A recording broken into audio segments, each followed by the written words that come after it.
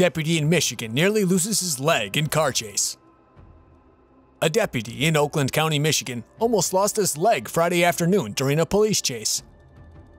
Deputies on the sheriff's directed patrol unit tried to make a traffic stop on a vehicle when the driver ignored it. A chase ensued. A second traffic stop was attempted, but the suspect's car continued its run until a pit maneuver was deployed and the vehicle was disabled. At that point, the suspect fled from the vehicle on foot, leaving it in drive, while at the same time one of the deputies exited his vehicle. The suspect's car ended up coming after the deputy and pinning him against his own car, almost taking his leg. The injured officer was transported to McLaren Hospital and treated for a leg injury. The suspect was caught soon after, less than a block from the scene.